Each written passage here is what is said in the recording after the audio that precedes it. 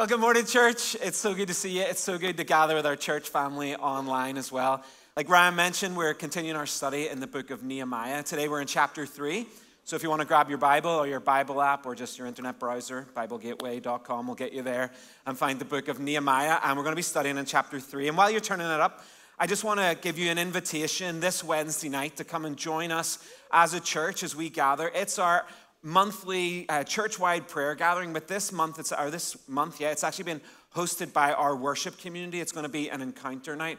So it's going to be an evening of worship and prayer and prophetic witness, and that's this Wednesday night at 7 p.m. It's going to be awesome, and we would love to see lots of you here on Wednesday. Okay, let's dive into the word for today. So we're in the story of Nehemiah. And over the last three weeks, Ryan and myself have been kind of chugging along through the story. And now we're at the point in this story where we move from ideas to action. So the plans for rebuilding the walls have been laid and the resources have been collected. So they've got the wood, they've got the timber, they've been the Bunnings.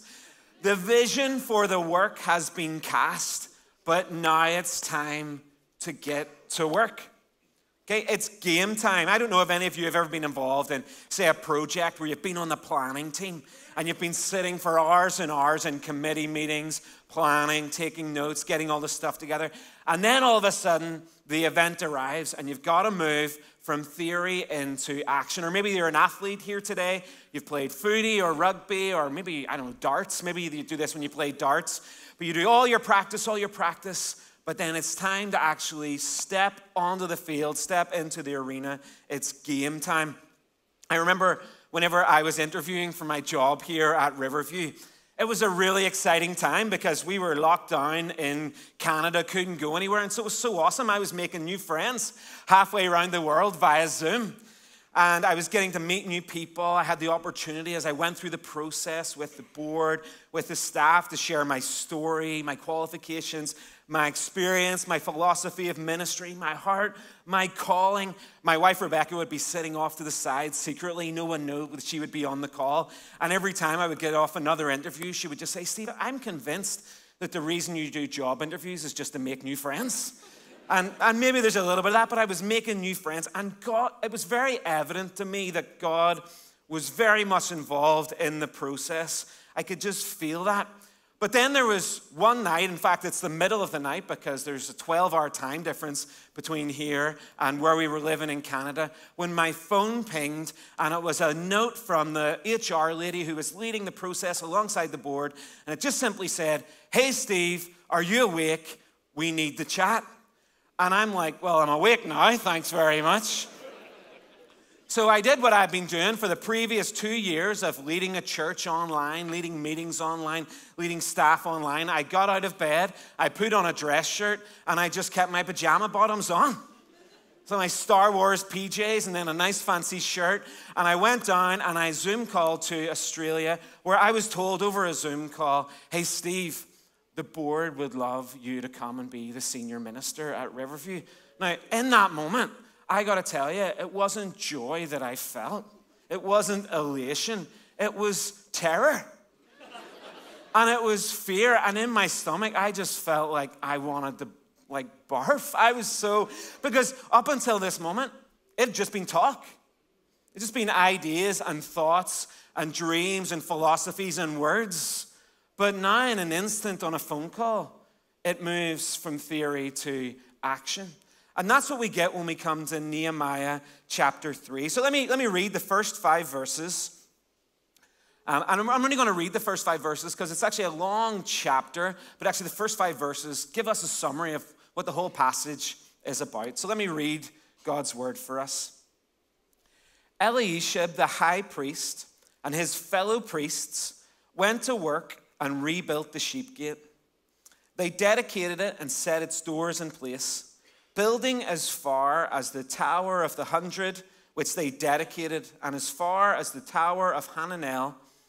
Then the men of Jericho built the adjoining section, and Zakkur, son of Imri, built the next to him. The fish gate was rebuilt by the sons of Hassenaah. They laid its beams and put its doors and bolts and bars in place. Meremoth, son of Uriah, the son of Hakkoz, repaired the next section. Next to him, Meshullam, son of Berechiah, the son of Meshabel, made repairs. And next to him, Zadok, the son of Baana, also made repairs. The next section was repaired by the men of Tekoa, but their nobles would not put their shoulders to the work under their supervisors. And we thank God for his word. Now, you can probably tell right away that this is not the sort of Bible passage that's going to make your heart soar. Okay? We're not reading this passage like we're reading the Psalms. This is not emotive in any way. This is just very informational, transactional piece of the Bible. There are 41 sections on the wall of Jerusalem, and we're given the details of the 40 groups of people who are actually building and contributing to the work. So, as you can, you can imagine already, this is not thrilling stuff. But this is an important reminder for us as Bible readers and as a Bible centered church that while the Bible was written for us, it wasn't written to us.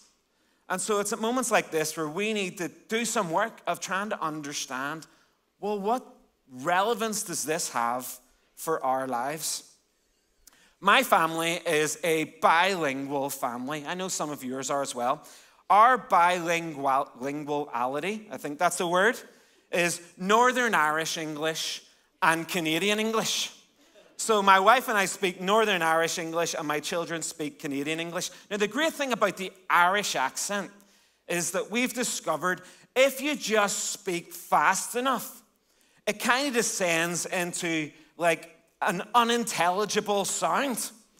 And so, as Rebecca and I have been raising our children, one of the things that we've discovered is that when we're in the car, say, and we're on a road trip, and we need to have a parent, like an adult only conversation, we just talk faster and our kids can't understand what we're saying.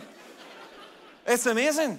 Now, until we then need to communicate something to our children, in which they will often respond by quoting from Rush Hour, we cannot understand the words that are coming out of your mouth.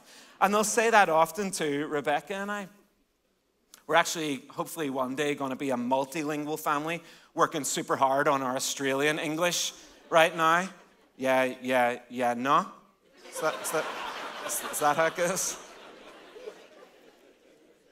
Nehemiah 3 is it's a bit of an awkward chapter. And actually, it probably wasn't in the original memoir, but was added after the fact. It's written in the same language, but it sounds really different. And if you've read, if you've taken time to read through Nehemiah, you'll have felt that change. And the reason it feels a little different is because it is a little different. And see, the rest of the book is a story, it's a, it's a memoir, it's, it's someone's personal history.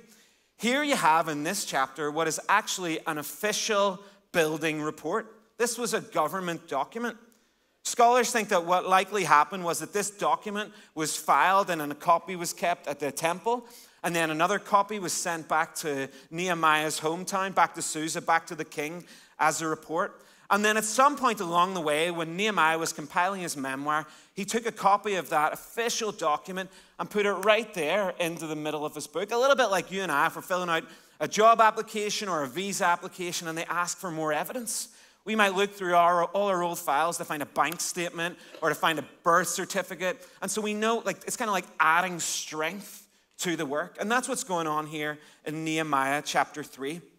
But that presents problems for us who read it, who are reading the Bible, because it's hard to read. How do you read an official government report? Well, normally with your eyes closed and sleeping, right? That's what happens. But it's hard to read, it's hard to preach, it's hard to pay attention to God's voice in the midst of it. And so that's why we slow down. That's why we need to slow down at moments like this to pay attention to the Holy Spirit, to what He might want to say to us. And there's some really, when we do that with Nehemiah 3, there's some really helpful devotional kind of thoughts that can really stir our hearts, believe it or not. Uh, here's a couple I want to share with you this morning. The first one's this Our faith must be modeled for others to see. People don't see what we believe, they see how we believe. They don't see our faith, they see the actions of our faith. And there's this really interesting moment right at the start of Nehemiah 3 when the wall, or when the work commences on the wall, that the first people to step into action are the priests. I think that's an incredibly important insight for us to see. See, our faith doesn't demand action, it's actually demonstrated by action. And here we have a bunch of holy men whose job it was to lead people in the life of worship, and yet we find them with their work gloves and their tool belts, and they're on the wall getting mucked in. The priests are modeling faith. They don't just talk about faith, they actually live it out. See, here in Nehemiah 3 is actually right at the start, is a beautiful illustration of what I think real spiritual leadership looks like. It looks like imitative faith. It looks like professional people and non professional people coming together to learn from one another how to follow and live for God. Uh, it's about proximity and about posture. People are side by side with the priests. I think it's really super interesting to me that in the modern iteration of the church, this is just a little aside, but the church's addiction to professional communicators and content creators. Do you know the difference between a pastor and a professional communicator? It's proximity to people. And that's so different. And I, for me, I just don't understand because I'm not wired that way. Why I would want someone who doesn't know me and have a relationship with me to come and speak into my life. And yet we seem, as, a, as churches in general, that we love that. Instead of the proximity and posture of life side by side. Whenever I was in college, my granda, okay, who, whose name is Big Tommy, okay, because Big Tommy was Big Tommy. And in Ireland, everyone's name is prefixed with a size. Okay, so he was Big Tommy, and Big Tommy was a general manager of a timber yard or carpentry works. And so he got me a job working there, and I worked as a laborer, you know, which involved going to the shop to pick up lunches for the actual workers who knew what they were doing, things like that. Whenever I was working there, my younger brother, Glenn, now, Glenn's not like the rest of my family. My family is wee John and wee Sandra, and I'm wee Steve. And then my sister's even smaller than me. But then my brother, my younger brother's like six foot two. He's big Glenn. So Big Glenn was working alongside Big Tommy in the timber yard, and he was serving his time as an apprentice carpenter. Now, I, I wrote down the translation here for those of you who don't know what that, that's a chippy, all right? Now, I, someone's gonna have to explain to me how you get chippy from working with, as, as a carpenter, but you can do that later on. But during my lunch breaks, I would go in to visit my brother while he was in the carpenter's workshop. And in the carpenter's workshop, in this particular timber yard, there were eight tables four for the carpenters and four for their apprentices. And what always struck me was how close those tables were to each other. They were in groups of two, where there would be a carpenter, a fully experienced carpenter, and then an apprentice. And the apprentice worked so closely with the carpenter so that he was learning from the carpenter his skill and his trade and his craft. It was about proximity, but it was also about posture. It was about the expert being willing to be close enough so that he could learn alongside and contribute to that person's life. That's just a little simple idea, but it's right there in the story of Nehemiah 3 of priests leaving the altar to actually work alongside people on the wall. I think another interesting devotional idea that comes out of Nehemiah 3 is the fact that this building project is bringing together all sorts of different people. People from all sorts of different life stories and experiences and backgrounds and professions and socioeconomic status and even theology. There are people in the mix here that believe different things about Yahweh and who He is and how He works in the world. But when they come together, something special happens. And everyone pitches in and contributes. And the result is you have people working alongside others who they would never have worked alongside. You have priests working alongside perfume makers and artisans working alongside musicians and uh, alongside Levites, alongside beauticians and goldsmiths. You have people bringing skills and talents to the story whose lives would not have crossed paths otherwise. There's something so beautiful about that image that flows out of Nehemiah 3. Now, we're just given a list of names, but as we slow down and read those names, we can actually see who they are, what their stories were, what their jobs were, what their skills were. And you see that God is doing something special in how He builds community and calls people together from different stories around a central idea. Now, you and I know that to be Jesus and how He calls us together around Him and around His work in our lives, but He's bringing together in this place in, in Riverview people who are scholars and people who are chippies. Chippies can be scholars too, right? And chippies are where you get your fish and chips if you go to Ireland. That's just a little aside. Another little noticeable devotional thought from Nehemiah 3 is found in Nehemiah 3 5, where we're told that the nobles of Tekoa were not willing to help. So you'll notice that there were 41 sections to the wall and only 40 groups of people who were willing to work, which meant somebody had to do a double shift. The people who did the double shift were the ordinary working class people of Tekoa because the rich, the affluent, the aristocratic, the celebrity families of their day from Tekoa were not willing, the scripture says, to put their shoulder to the work. And that's just a simple idea, but it's a reminder that status and position is no measure of character or authenticity or integrity.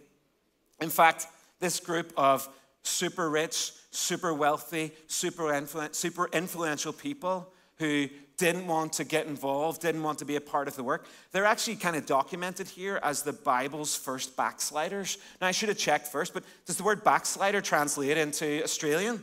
Okay, so that's a word that you would know. Well, this is actually where the word backslider comes from.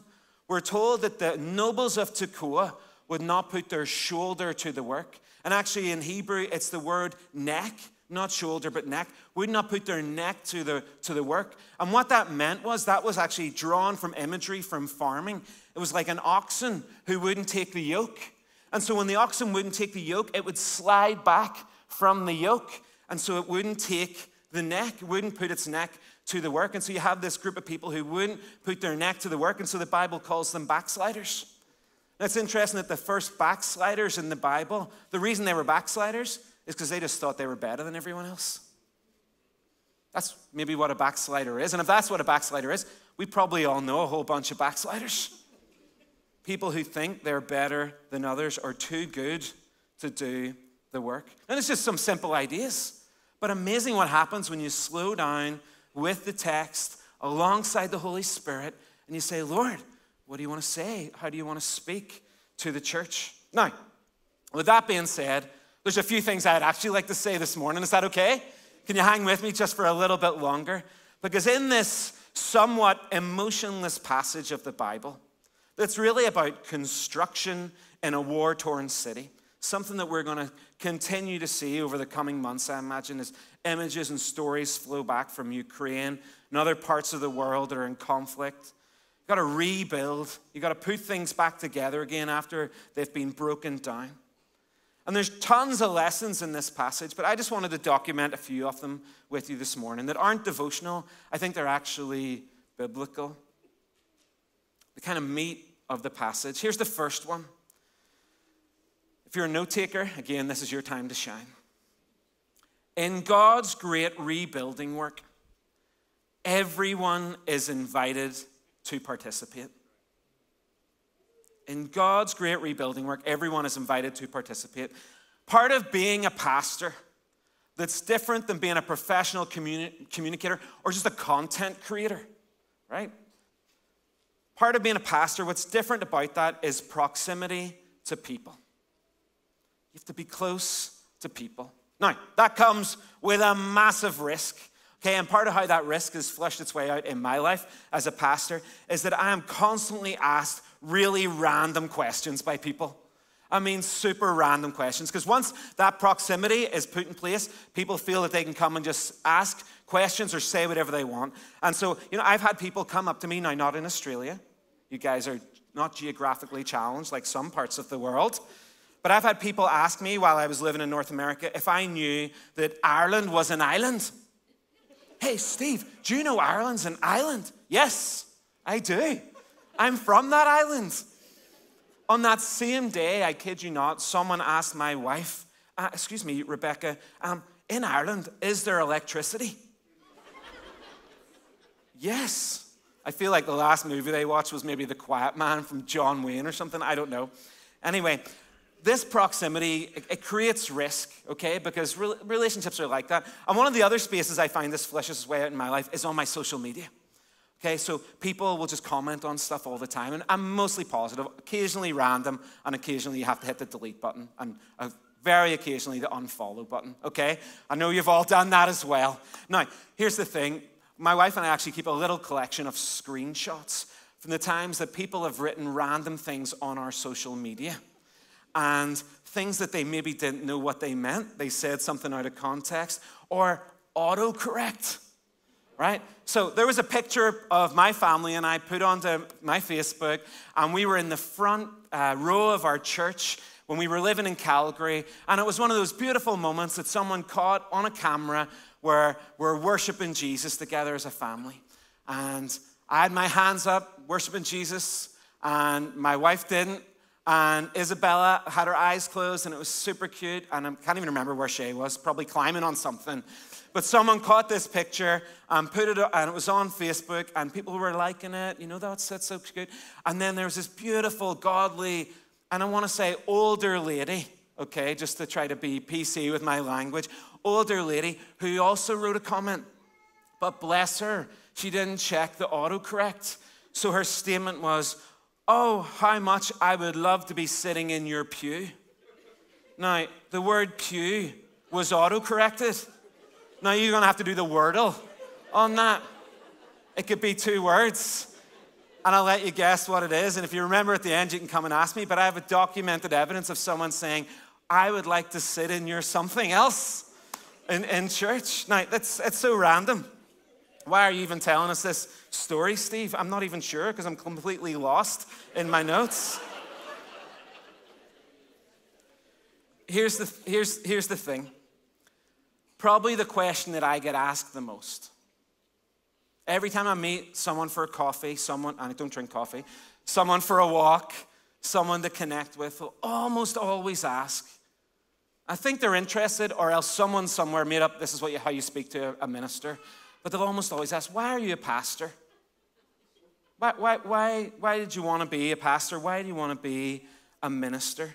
Well, can I just tell you, it's because of moments like this in Nehemiah 3, or the formation of the early church movement, or the great movements of God throughout all of history. And it's this because I really believe, like actually, with every fiber of my being, that God delights in using ordinary people to do extraordinary things for His glory. That's why. That's why I'm a pastor. That's why I'm a pastor who wants to be in proximity with people because I believe with all my heart that that's who God is a God who desires and delights in using ordinary people for his glory. So if you're here this morning and you would consider yourself to be normal, ordinary, or maybe even not that great, maybe not that talented, then can I just tell you, you are the perfect raw material for God to use for His glory in His story. You know, part of the vision that God's stirring in our hearts as a church right now is that we would be a community of participation. Not just a church that people go to, because we don't go to church, we are the church.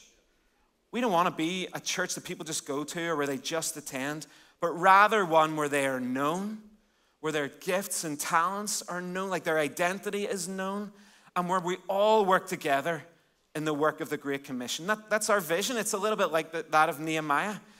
Everyone taking their place on the wall, everyone using their gifts and talents and passions, their creativity, their experience, and their heart, and all of us building together.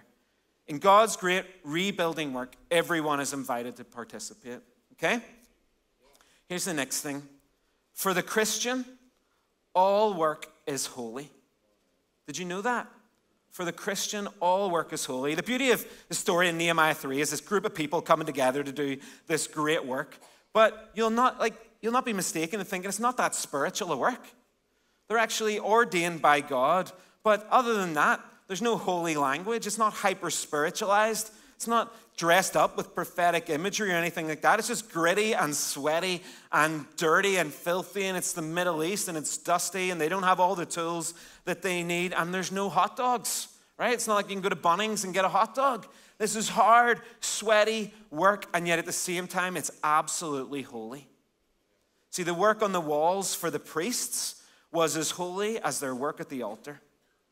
This project happens right at the intersection of the sacred and the secular. And the lines are blurred, and I love that. I love that because I think probably most of us have grown up and been shaped in a faith that taught us to compartmentalize our approach to faith in God. This is holy, this is not holy. This is part of my Christian life, this is not part of my Christian life. This is my other life. This story encourages us, encourages us that God does not think about our lives in this way, with these defining lines. See, the walls that needed to be rebuilt and restored truly did need to be rebuilt and restored for spiritual reasons, because God's name and fame and honor was attached to Jerusalem. But at the same time, at the very same time, the walls needed to be rebuilt to provide safety and stability for the inhabitants of the city. The sacred and the secular were just the same thing. They were just all meshed up together. It was ordinary people doing ordinary work, but at the same time, extraordinary, faith filled people serving an extraordinary God. You know, for people like me, okay, so I'm, I'm this professional Christian leader, passages like this are a lesson and a reminder in not over spiritualizing my work. But for everyone else who has careers and jobs in the real world, it's also a great reminder to not under spiritualize your work. What makes our work holy is the presence of the Holy One within us. The Holy Spirit work within us, working out His purposes in our everyday lives. So, for the Christian, everything that we are and do, including our work, is holy. All right? Okay. Last thing I want to say. Number three.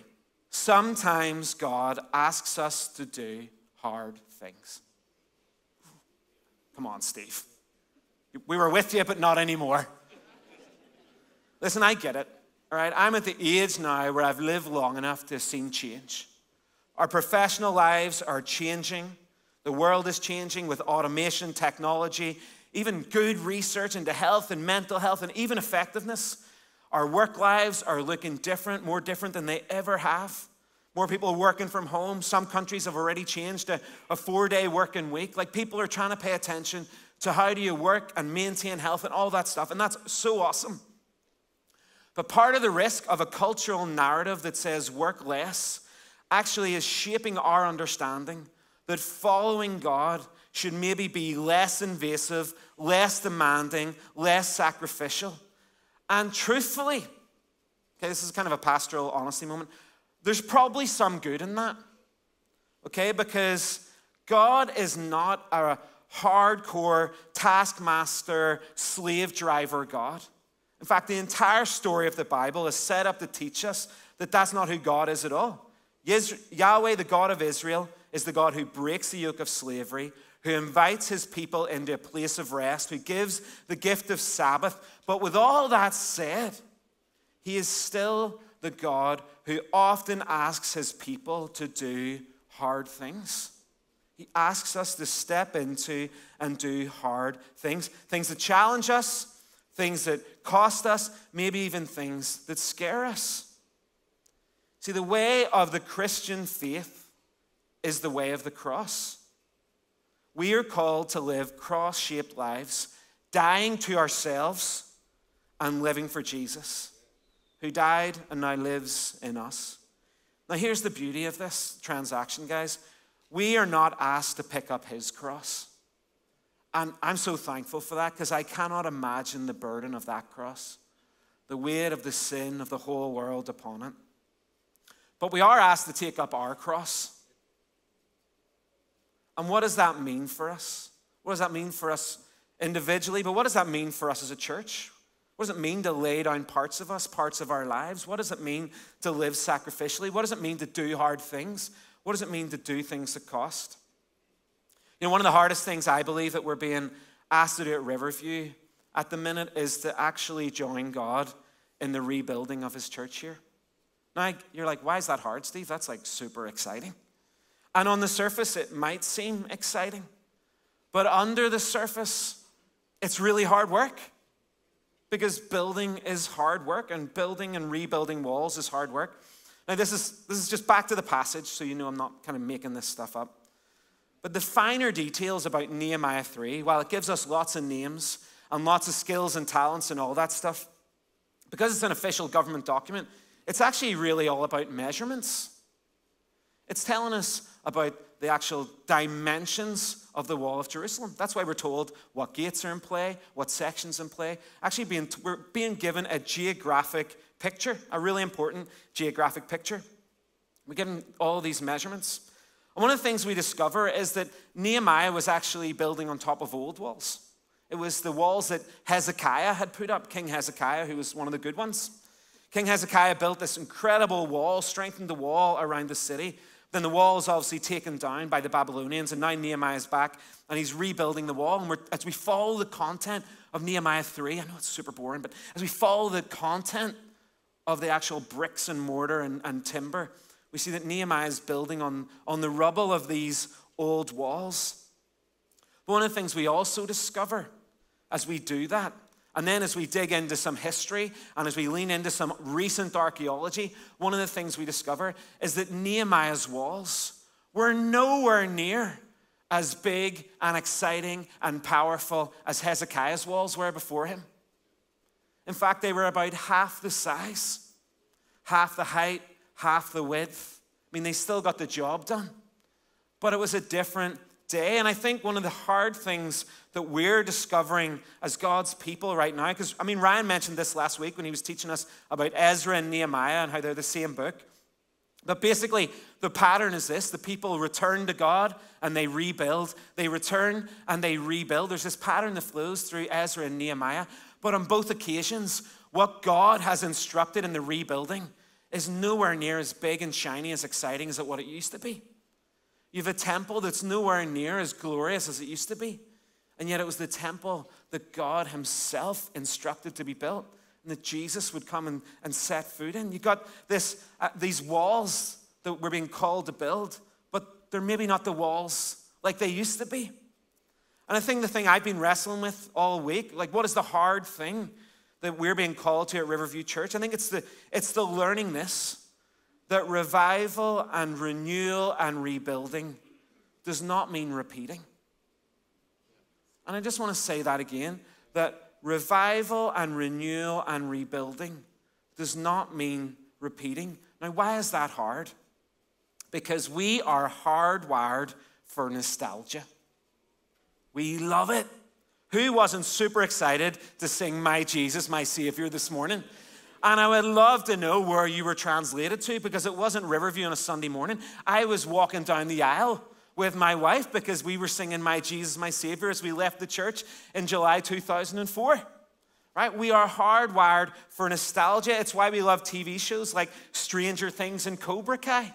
It's why all the Star Wars fans are super excited this week that Obi Wan Kenobi's TV show's coming out because we're so hardwired for nostalgia. Now, I want, I, I want to celebrate that.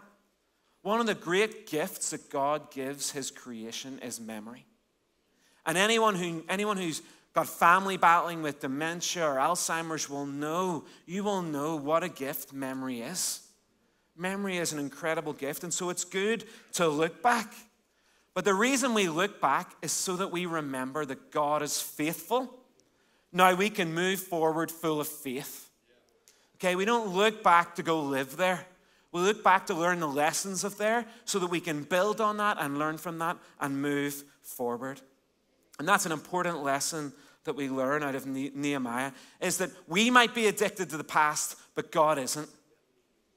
We might be addicted to what God's done before, but God isn't. God is always doing something new and then calling us to it calling us to it. Now, let me just clarify, just in case you think that I'm a, I'm a history basher or a Riverview Church of the Past basher. Absolutely not, because here's one really important little textual idea.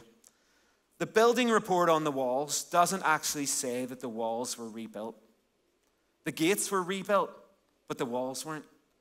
The walls were actually, the Hebrew word is strengthened. The walls were strengthened. In other, in other words, they took what was already there, and what was good, they put it back up again. And they built on top of. And that is a biblical idea of building on the next generation, taking what's good and what's true and building on that from generation to generation. Each generation builds on the work of another. And may we be a church that celebrates the past, finds the good in it, but then finds the God in the here and now and partners with Him in what He wants to do in the future. Amen? Amen. Now, as Ryan comes up, Ryan, would you come up? Let me, let me just say one little thing before I hand over to Ryan, who's going to take us home today. But you'll notice that the story of Nehemiah, chapter 3, is not dissimilar from the story of the Christian gospel. Christian gospel is a message of a God who invites very ordinary, disqualified people who just aren't good enough, that's us, to come into his story through his son Jesus. And we're made holy not because of who we are, our gifts or talents or efforts or anything, but because of who Jesus is. We're invited into this story. And I just wanted to remind you that we're, we're not just a Bible community, we're a Jesus community. And if there's anyone here today who would love to know more about Jesus, to find out and discover who Jesus is, we would love to talk to you. We would hate you to leave here today and know loads about Nehemiah, but not know anything about Jesus. Okay, so we would love to invite you to come and chat to pastors or actually just the people around you. They're just as holy as we are, believe it or not. Or you can go talk to the people out in the foyer. But if you would like to know more about Jesus, we would love to tell you about him.